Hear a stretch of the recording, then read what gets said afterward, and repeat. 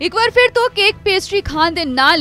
ਦਰਜਨ ਲੋਕ ਬਿਮਾਰ ਹੋਏ ਨੇ, ਜਿਨ੍ਹਾਂ ਨੂੰ ਹਸਪਤਾਲ ਦੇ ਵਿੱਚ ਦਾਖਲ ਕਰਵਾਇਆ ਗਿਆ ਹੈ। ਬੇਕਰੀ ਤੋਂ ਇਹ ਕੇਕ ਪੇਸਟਰੀਜ਼ ਮੰਗਵਾਈਆਂ ਗਈਆਂ ਸੀ ਤੇ ਜਿਨ੍ਹਾਂ ਜਿਨ੍ਹਾਂ ਨੇ ਖਾਧੀਆਂ, ਉਹਨਾਂ ਦੀ ਸਿਹਤ ਖਰਾਬ ਹੋ ਗਈ। ਖਰਾਬ ਇਸ ਕਦਰ ਹੋਈ ਕਿ ਉਹਨਾਂ ਨੂੰ ਹਸਪਤਾਲ ਦੇ ਵਿੱਚ ਦਾਖਲ ਕਰਾਉਣਾ ਪੈ ਗਿਆ ਹਸਪਤਾਲ 'ਚ ਭਰਤੀ ਹੋਏ ਇਹਨਾਂ ਬਿਮਾਰ ਲੋਕਾਂ ਦੇ ਵਿੱਚ ਜ਼ਿਆਦਾਤਰ ਛੋਟੇ ਬੱਚੇ ਨੇ, ਜਿਨ੍ਹਾਂ ਨੇ ਇਹ ਕੇਕ ਪੇਸਟਰੀ ਖਾਧੀ ਹੈ। ਦੱਸ ਦਈਏ ਕਿ ਇਹ ਮਾਮਲਾ ਵੀ ਪਟਿਆਲਾ ਤੋਂ ਹੀ ਸਾਹਮਣੇ ਆਇਆ ਹੈ। ਜਿੱਥੇ ਪਹਿਲਾਂ ਵੀ ਕੇਕ ਖਾਣ ਦੇ ਨਾਲ ਇੱਕ ਬੱਚੀ ਦੀ ਮੌਤ ਹੋਈ ਸੀ ਤੇ ਹੁਣ ਇੱਕ ਵਾਰ ਫਿਰ ਤੋਂ ਇੱਥੇ ਇੱਕ ਬੇਕਰੀ ਤੋਂ ਕੇਕ ਪੇਸਟਰੀਜ਼ ਮੰਗਵਾਈਆਂ ਗਈਆਂ ਸਨ, ਜੋ ਜਿਨ੍ਹਾਂ ਨੇ ਵੀ ਖਾਧੀਆਂ, ਉਹ ਬਿਮਾਰ ਹੋ ਗਏ, ਸਿਹਤ ਖਰਾਬ ਹੋ ਗਈ ਤੇ ਉਹਨਾਂ ਨੂੰ ਤੁਰੰਤ ਹਸਪਤਾਲ ਲੈ ਜਾਣਾ ਪੈ ਗਿਆ, ਜਿੱਥੇ ਉਹਨਾਂ ਦਾ ਇਲਾਜ ਚੱਲ ਰਿਹਾ ਹੈ ਤੇ ਇਹਨਾਂ ਦੇ ਵਿੱਚ ਛੋਟੇ ਬੱਚੇ ਵੀ ਮੌਜੂਦ ਨੇ। ਇੱਥੇ ਵੀ ਦੱਸ ਦਈਏ ਕਿ ਜਦੋਂ ਇਹ ਘਟਨਾ ਵਾਪਰੀ ਤਾਂ ਇਸ ਤੋਂ ਬਾਅਦ ਸਿਹਤ ਵਿਭਾਗ ਵੀ ਤੁਰੰਤ ਹਰਕਤ ਵਿੱਚ ਆਇਆ ਹੈ ਤੇ ਐਕਸ਼ਨ ਲੈਂਦੇ ਉਹਨਾਂ ਦੇ ਵੱਲੋਂ ਬੇਕਰੀ ਦੇ ਉੱਤੇ ਰੇਡ ਕੀਤੀ ਗਈ ਅਤੇ ਇਹਨਾਂ ਦੇ ਸਮਾਨ ਦੀ ਸੈਂਪਲ ਲਏ ਗਏ ਨੇ। ਸੈਂਪਲ ਭਰ ਕੇ ਲਿਜਾਏ ਗਏ ਨੇ, ਟੈਸਟ ਤੋਂ ਬਾਅਦ ਰਿਪੋਰਟ ਆਏਗੀ ਤੇ ਫਿਰ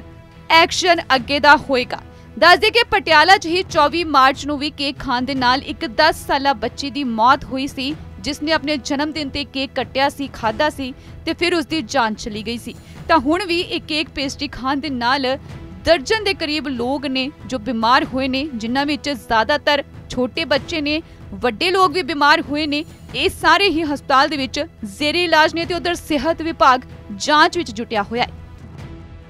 ਇੱਕ ਵਾਰ ਫਿਰ ਤੋਂ ਕੇਕ ਪੇਸਟਰੀ ਖਾਣ ਦੇ ਨਾਲ ਦਰਜਨ ਲੋਕ ਬਿਮਾਰ ਹੋਏ ਨੇ, ਜਿਨ੍ਹਾਂ ਨੂੰ ਹਸਪਤਾਲ ਦੇ ਵਿੱਚ ਦਾਖਲ ਕਰਵਾਇਆ ਗਿਆ ਹੈ। ਬੇਕਰੀ ਤੋਂ ਇਹ ਕੇਕ ਪੇਸਟਰੀਜ਼ ਮੰਗਵਾਈਆਂ ਗਈਆਂ ਸੀ ਤੇ ਜਿਨ੍ਹਾਂ ਜਿਨ੍ਹਾਂ ਨੇ ਖਾਧੀਆਂ, ਉਹਨਾਂ ਦੀ ਸਿਹਤ ਖਰਾਬ ਹੋ ਗਈ। ਖਰਾਬ ਇਸ ਕਦਰ ਹੋਈ ਕਿ ਉਹਨਾਂ ਨੂੰ ਹਸਪਤਾਲ ਦੇ ਵਿੱਚ ਦਾਖਲ ਕਰਾਉਣਾ ਪੈ ਗਿਆ ਹਸਪਤਾਲ 'ਚ ਭਰਤੀ ਹੋਏ ਇਹਨਾਂ ਬਿਮਾਰ ਲੋਕਾਂ ਦੇ ਵਿੱਚ ਜ਼ਿਆਦਾਤਰ ਛੋਟੇ ਬੱਚੇ ਨੇ, ਜਿਨ੍ਹਾਂ ਨੇ ਇਹ ਕੇਕ ਪੇਸਟਰੀ ਖਾਧੀ ਹੈ। ਦੱਸ ਦਈਏ ਕਿ ਇਹ ਮਾਮਲਾ ਵੀ ਪਟਿਆਲਾ ਤੋਂ ਹੀ ਸਾਹਮਣੇ ਆਇਆ ਹੈ, ਜਿੱਥੇ ਪਹਿਲਾਂ ਵੀ ਕੇਕ ਖਾਣ ਦੇ ਨਾਲ ਇੱਕ ਬੱਚੀ ਦੀ ਮੌਤ ਹੋਈ ਸੀ ਤੇ ਹੁਣ ਇੱਕ ਵਾਰ ਫਿਰ ਤੋਂ ਇੱਥੇ ਇੱਕ ਬੇਕਰੀ ਤੋਂ ਕੇਕ ਪੇਸਟਰੀਜ਼ ਮੰਗਵਾਈਆਂ ਗਈਆਂ ਸਨ, ਜੋ ਜਿਨ੍ਹਾਂ ਨੇ ਵੀ ਖਾਧੀਆਂ, ਉਹ ਬਿਮਾਰ ਹੋ ਗਏ, ਸਿਹਤ ਖਰਾਬ ਹੋ ਗਈ ਤੇ ਉਹਨਾਂ ਨੂੰ ਤੁਰੰਤ ਹਸਪਤਾਲ ਲੈ ਜਾਣਾ ਪੈ ਗਿਆ, ਜਿੱਥੇ ਉਹਨਾਂ ਦਾ ਇਲਾਜ ਚੱਲ ਰਿਹਾ ਤੇ ਇਹਨਾਂ ਦੇ ਵਿੱਚ ਛੋਟੇ ਬੱਚੇ ਵੀ ਮੌਜੂਦ ਨੇ। ਇੱਥੇ ਵੀ ਦੱਸ ਦਈਏ ਕਿ ਜਦੋਂ ਇਹ ਘਟਨਾ ਵਾਪਰੀ ਤਾਂ ਇਸ ਤੋਂ ਬਾਅਦ ਸਿਹਤ ਵਿਭਾਗ ਵੀ ਤੁਰੰਤ ਹਰਕਤ ਵਿੱਚ ਆਇਆ ਤੇ ਐਕਸ਼ਨ ਲੈਂਦੇ ਉਹਨਾਂ ਦੇ ਵੱਲੋਂ ਬੇਕਰੀ ਦੇ ਉੱਤੇ ਰੇਡ ਕੀਤੀ ਗਈ ਅਤੇ ਇਹਨਾਂ ਦੇ ਸਮਾਨ ਦੀ ਸੈਂਪਲ ਲਏ ਗਏ ਨੇ। ਸੈਂਪਲ ਭਰ ਕੇ ਲਿਜਾਏ ਗਏ ਨੇ ਟੈਸਟ ਤੋਂ ਬਾਅਦ ਰਿਪੋਰਟ ਆਏਗੀ ਤੇ ਫਿਰ